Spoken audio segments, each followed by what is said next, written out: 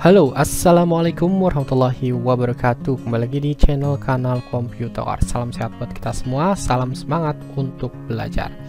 Halo teman-teman, um, hari ini kita akan uh, coba ya untuk um, di sini sama sharing ya. Uh, bagaimana ketika teman-teman ingin menambahkan suatu storage ya ke dalam perangkat komputer teman-teman ya. Nah itu biasanya teman-teman gunakan ketika ingin um, storage-nya lebih lega ya. Teman-teman beli storage baru ataupun berupa hard disk ya ataupun SSD nah biasanya teman-teman kalau ingin murah ya belinya biasanya yang second. Nah untuk mengecek um, hard disk ataupun SSD yang second ya nah itu apakah ada bad sektornya atau tidak ya? Nah, itu teman-teman apakah ada kerusakannya ya atau tidak, itu teman-teman bisa cek ya menggunakan suatu yang namanya software ya, teman-teman. Nah, di sini uh, teman-teman uh, sebelum kita lanjutkan ya, teman-teman boleh silahkan yang baru gabung ke channel ini ya. Silahkan boleh uh, tekan tombol subscribe di bawah ya. Uh, dengan subscribe ya, teman-teman mendapatkan uh, manfaat lainnya ya dan membantu kami untuk terus berkembang. Oke, okay, um, di sini teman-teman tinggal menggunakan uh, softwarenya yaitu uh, namanya Harddisk Sentinel ya teman-teman. Nah, teman-teman bisa download nanti di deskripsi ya. Nah, ini teman-teman tinggal klik ya kalau misalkan sudah install. Nah, nanti dia akan uh, keluar ya seperti ini ya. Nah, teman-teman ketika sudah pasang um, hard disknya ya, entah itu menggunakan um, hard disk uh, enclosure eksternal ya Nah, tinggal dicolokkan ke USB. Nah, itu bisa teman-teman langsung deteksi seperti ini. Ya, di sini ada um, saya menggunakan satu untuk sistem itu menggunakan SSD dan uh, untuk storage ini saya menggunakan hard disk ya. Nah, di sini teman-teman kita bisa lihat ya untuk um, kesehatannya ya. Kesehatannya itu dia ada 100% ya. Nah, kalau misalkan teman-teman uh, di sini 100% ya untuk um, misalnya kita klik ini ya untuk um, sentinelnya ya berarti ini adalah 100% ya performance 100% kemudian healthnya juga 100% ya. Berarti dia itu um, storage-nya masih bagus ya teman-teman. Tapi ketika misalkan teman-teman ada di bawah 100% ya itu berarti um, hard disk-nya atau SSD-nya itu sudah um, mulai lemah ya Nah, jadi kalau misalkan teman-teman beli ya hard disk ataupun SSD ya, itu teman-teman silahkan dicek dulu ya menggunakan hard disk Sentinel ini ya, menggunakan software ini. Ya, jadi nanti akan ketahuan ya ketika begitu di um, softwarenya ya. Nanti akan ketahuan performansnya ya dan kesehatan harddisknya.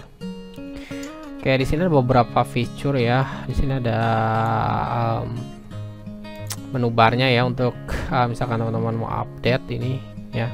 Ada cek untuk new versionnya ya. Kemudian um, ini untuk um, hard disk yang offline ya. Kalau misalkan ada di colokan tapi ini offline teman-teman bisa online kan seperti ini. Oke kemudian di sini ada juga um, volumenya information ya. Jadi setiap um, disk itu kan ada uh, partisinya ya seperti itu Nah, kemudian di sini juga um, ada ya koneksi ataupun um, removal event lognya ya. Oke. Nah, di sini teman-teman um, selain dari ini ya untuk menu-menunya yang perlu teman-teman ketahui di sini teman-teman uh, bisa lihat ya untuk uh, di sini kita bisa cek ya untuk temperaturnya juga ya. Dan kita klik um, disk yang uh, di saya ini temperaturnya 40 derajat ya. Untuk hari ini ya misalkan seperti itu. Ya ini rata-rata 40 derajat ya. Oke. Nah ini juga kalau misalnya untuk SS um, untuk harddisknya ini dia sekitar segini ya. Jadi um, agak ini ya berubah-ubah seperti itu. Oke Nah, di sini juga ada fitur smart ya. Kalau misalkan fitur smart ini teman-teman kita bisa lihat um, ada berapa di sini um, raw data errornya ya, kemudian dan lain-lainnya. Teman-teman bisa cek-cek ya di sini. Nah, di sini untuk informasinya ya, teman-teman bisa lihat ya, misalkan ini SATA-nya generasi ketiga ya, kemudian um, ini kecepatannya 6 GB ya. Nah, ini juga ada kalau misalkan disknya ya seperti ini, ini menggunakan um, ATA ya. Kemudian juga di sini um, hard disk headsnya ada 16 ini sih semua tentang keterangan untuk hard disk ataupun SSD-nya.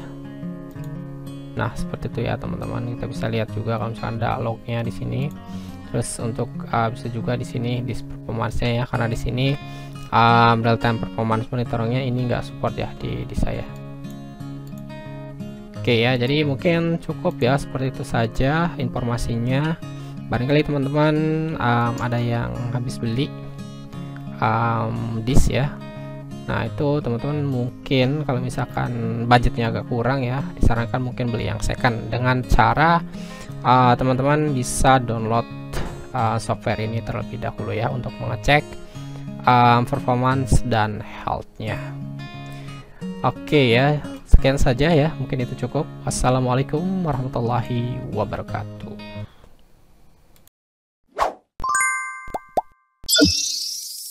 you